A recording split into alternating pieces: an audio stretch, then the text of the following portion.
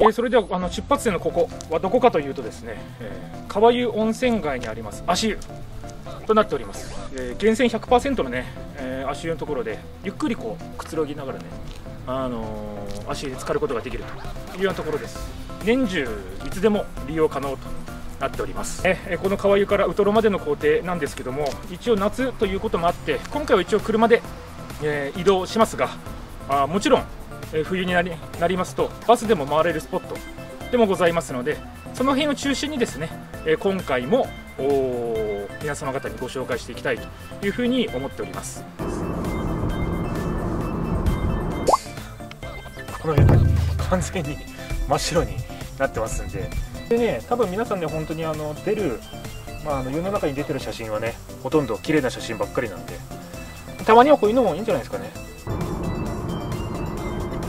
えー、それではウトロに到着しましてまずですねウトロでちょっとあの食事の方を食べていきたいなと思っております。今日はですねこちら、えー、漁協婦人部食堂のウトロがね漁協婦人部さんと、えー、実施しております。食堂の方に入っていろいろ食べてみたいと思います。はいはいありがとうございます。うわすごい。海丼。じゃあまず何もつけないで。幸運のウニをいただきますはい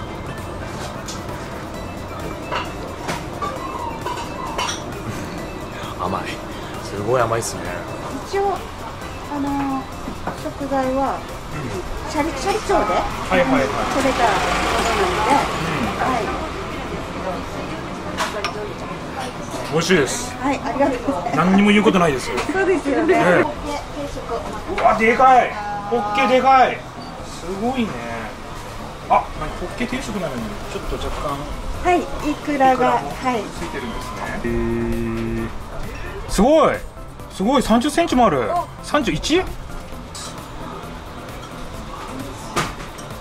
これがね熱いからねすごい口の中でねこの海のもう鍛えられたこの身がね広がるんですよ口の中で30センチですよ。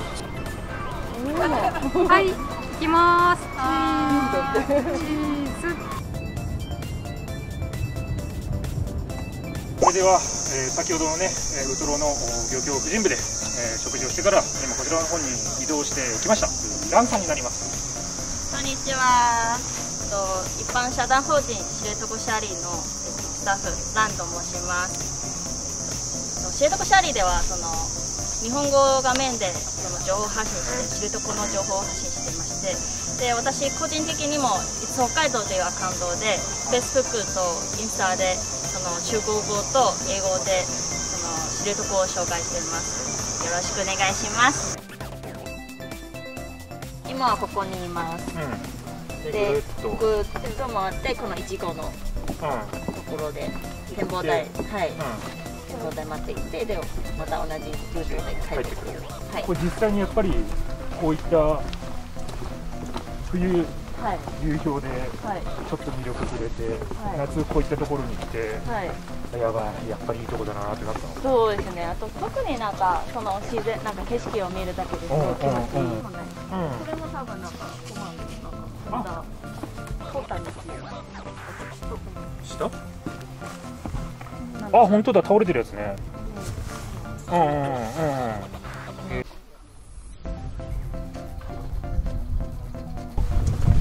らが。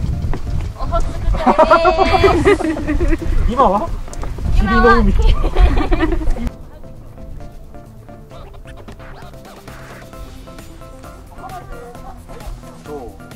いやすごい綺麗。いつも咲いてるわけじゃないんですね。ではないです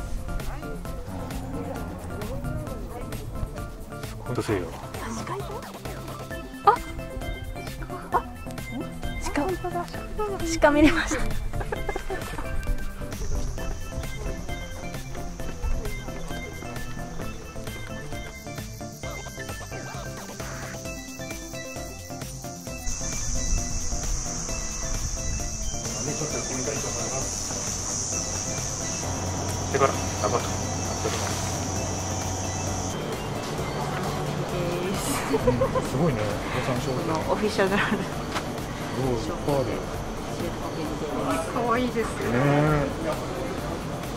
かわいいよ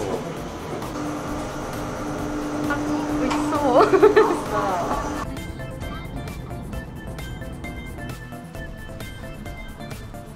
えーそれではですね先ほどの知床5個の1個だけ見てねあの高架国道で歩いてきましたけどもせっかくね、えーウトロ温泉にいるということでねなんだお土産の方も若干紹介していきましょはい、うよろしいでしょうか？はい、はいじゃあここは場所はどちらですか？えっと、ウトロの水の陸ウトロ司令徳です。これはもうトコさんがマスクして可愛い完全にですよ。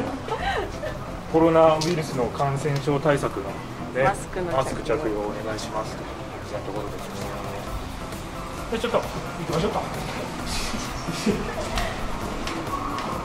ちらにもアルコールがあります。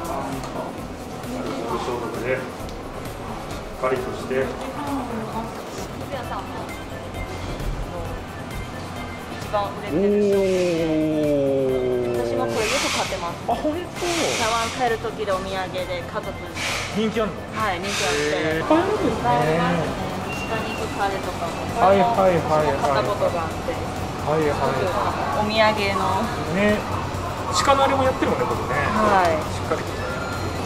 焼きもとかも低くなってビール飲む時でね合いますこれは合うよね。でかい。でかい。これでかいよ。結構でかいですあもうもうこっちの方がねもう奥なんかすごいでかい。出ましたね。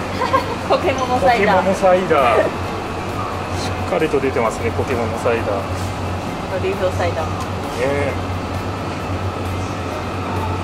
サイダーも。第一位。コケモモタルトケーキ。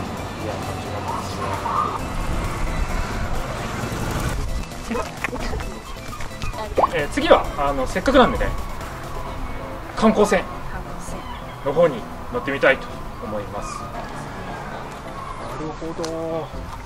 往復で2時間ぐらい。2時間ぐらいね。はい、はい。お願いしはい。ます、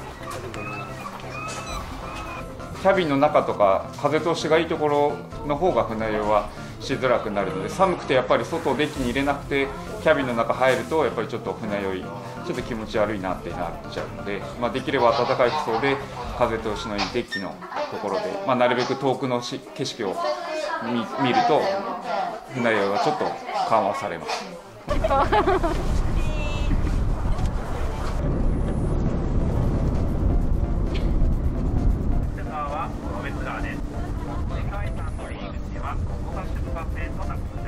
はこのモロベッツァーを境にして沖合に3キロここから知床岬の方をぐるっと回りまして隣町のダウ町のルサ川までが世界遺産中に含まれています。こちらが全ての滝です。二筋の滝がハラハラと流れる様子。まるで乙女が涙を流しているようにも見えてきませんか？また前方方向には山に入りますねダウン時代が2月の2月に上がるがね、ヒグマミレのは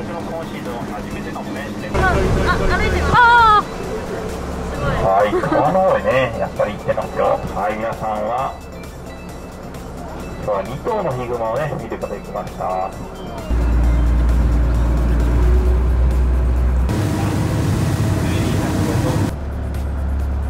はい、えーそれではですね、まあ、あのここでアンさんとはお別れというふうになってしまいます。楽しかったです またそう知床にはい遊びに来てください、ぜひ。ありがとうございました。ありがとうございましたはい、えーそれではですね、えー先ほどのおゴジラ岩観光、ねえー観光船のクルーズの方をね、えー実際にこう体験してきましたけども、お本日のおお宿はこちらの方になっております。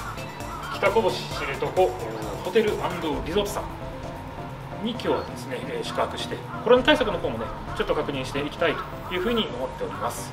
じゃあご案内いたします。はい、と早速こういうの、はい中村さんあるわけですね。そうですね消毒と検温にご協力くださいとはい書かせていただいておりますこちらですね映っていただくだけであの検温できるサーモカメラをなるほど。はい取り入れておりますのでで今何度ですよという。はいそうですねこちらの下に書かれておりますはい。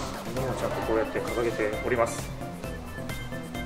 えーこちらもね、えーしっかりと飛沫防止のえーアクリル板でいいのかな？アクリルボードはいアクリルボードでいいですね。はい、あの飛沫でねコロナを移さない、移されないというようなこともしっかりとされている。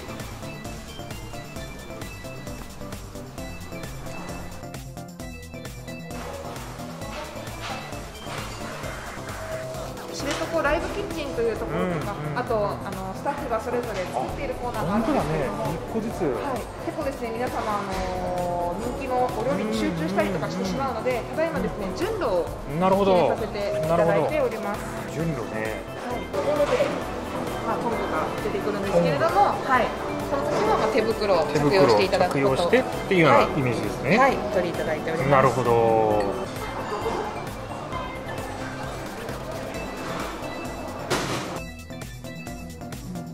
はい。では、どちらのコーナーですか？こちらバイキン会場のデザートコーナーでございます。はい、一番がですね、あのお部屋でスイーツということで、まああのお部屋でですね、こうゆっくりしていただくために、はい、お部屋であのスイーツを食べてねそうですね。ゆっくり食べてねっていうでね。、そうですね。お持ち帰りいただけるように、あのパックの方ご用意させていただいてます。ここだよな。はい。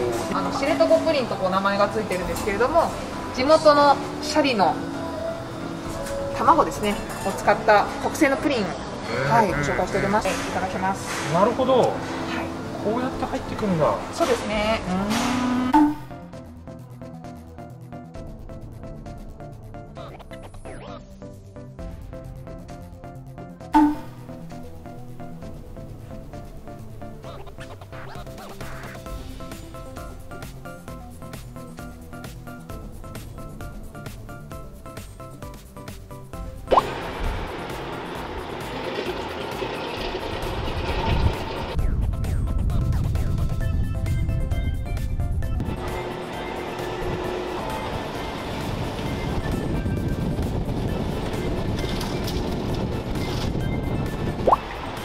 えー最後までえご視聴いただきましてありがとうございました、えー今後も配信予定となっておりますのでぜひチャンネル登録の方よろしくお願いいたします。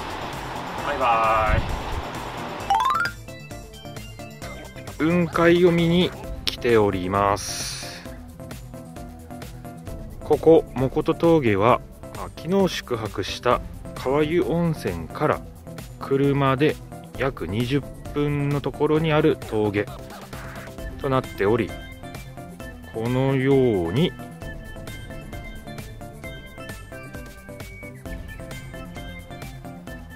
雲海を見ることができるスポットになっております。